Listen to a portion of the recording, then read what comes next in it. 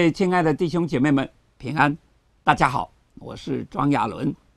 我们正在讨论的是《路加福音》，今天我们正在讨论第九讲“为将来而预备”。经文是在《路加福音》十二章、十三章。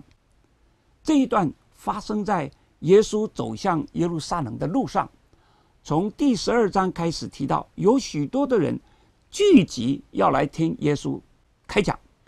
表面看起来虽然是向众人讲的，但是。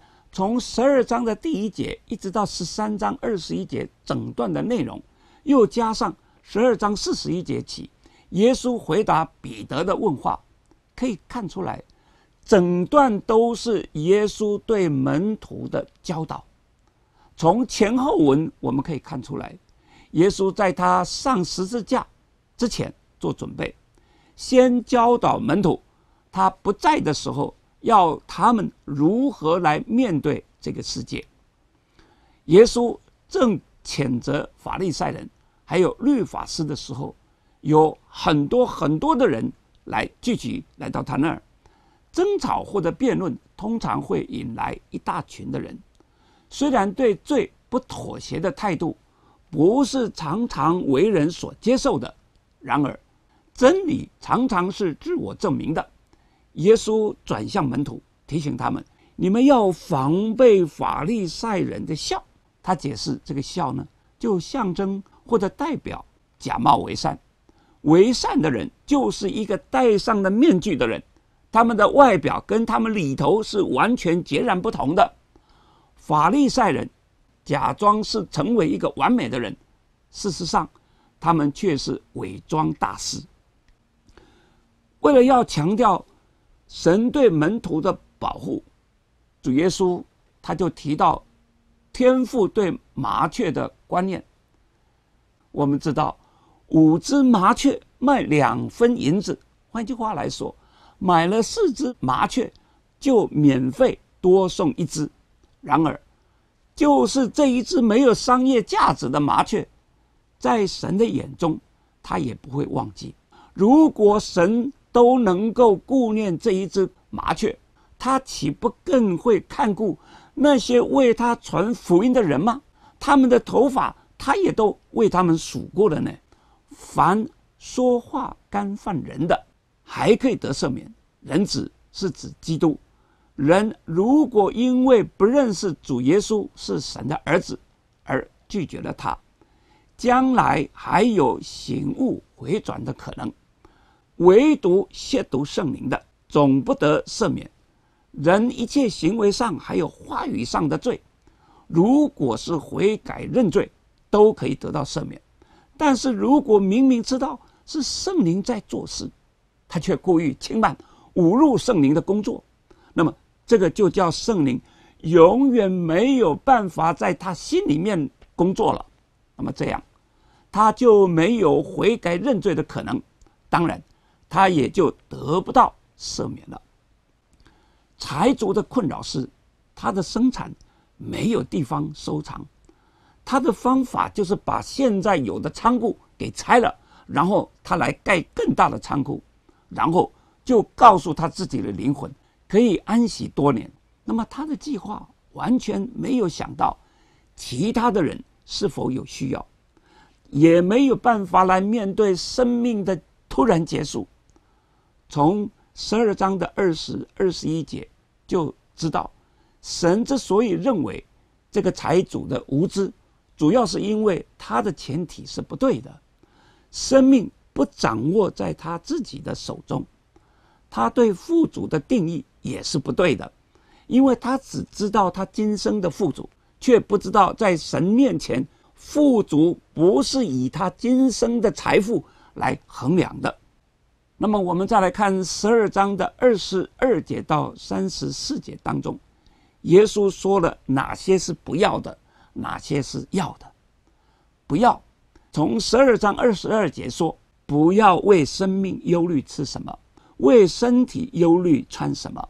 另外二十九节说，不要求吃什么喝什么，也不要挂心。十二章三十二节说，你们这小群不要惧怕。因为你们的父乐意把国赐给你们。另外，他也提到要，十二章三十一节说，你们要求他的国；十二章三十三节说，你们要变卖所有的，周济穷人，为自己预备永不坏的钱囊。那么，耶稣基督他说了，他看我们的生命比飞鸟还要贵重。第一个理由是什么？是生命比饮食衣物更重要。十二章二十三节说：“因为生命胜于饮食，身体胜于衣裳。”第二个理由是天赋会供应。耶稣用乌鸦来说明，连这个看起来不贵重的生物，神都看顾，何况人呢？在十二章二十二节的生命，跟十二章十九节用的灵魂是同一个字。耶稣在说无知财主所忧虑的是生命中吃的穿的。这些都不必让你来忧虑，因为神会供应的。第三个理由是，忧虑是没有效果，是没有意义，是没有作用的。物质的财富通常有一个问题，你要信靠他才能够拥有它。因此，主耶稣说：“你们的财宝在哪里，你们的心也会在哪里。”如果我们把钱财放在天上，我们的感情。就会放弃这个世上腐败的东西了。他又说：“谁是那忠心有见识的管家？主人派他管理家里的人，按时分粮给他们呢？在他想不到的日子、不知道的时候，仆人的主人要回来，重重的来处置他，定他和不忠心的人同罪。作为一个领导人。”必须要明白知道神的旨意，才会知道自己所负责任的界限。如果我们不知道神的旨意，虽然仍然会遭到审判，却不至于严厉。要明白知道他的旨意，就必须要听他的话。有两件国家的惨剧构成一个对话的基础。第一。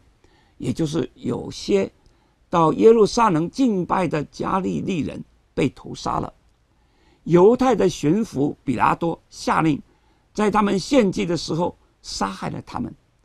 我们对这一件暴行没有其他的资料，我们假设受害人都是住在加利利的犹太人，耶路撒冷的犹太人可能在一个很谬误之下来挣扎，以为这些加利利人。必定是犯了什么滔天大罪，他们的死证明了神的不悦。然而，主耶稣来纠正这个错误，警告犹太人：他们如果不悔改，都要如此的灭亡了。那么，第二件，也就是谈到了希罗亚楼倒塌，十八个人死亡的事情。主耶稣基督所要强调的重点是什么？我们不应该。把这一次的灾难诠释为对一个集体的恶行的特别的审判，相反的，我们应该要把它当做对全以色列国的一个警告。他们如果都不悔改，也会遭遇到类似的厄运。事实上，他们所遭遇到的厄运，就是在主后七十年，罗马将军提多。入侵把耶路撒冷全部都毁灭了，那么这个就是耶稣基督所警告的。因为树不结果子，神就吩咐把这个树砍了。无花果树白白的占了地图，管理园区的来为无花果树的求情，多给他一年的时间。如果最终还是不结果子，就要把这个树砍了。这个就是所发生的事情。第四年开始的时候，以色列拒绝了主耶稣，把他钉十字架，结果以色列国的首都被毁了，人民都四散各处去了。以色列对主耶稣的真正态度，可以从管会堂的看出来。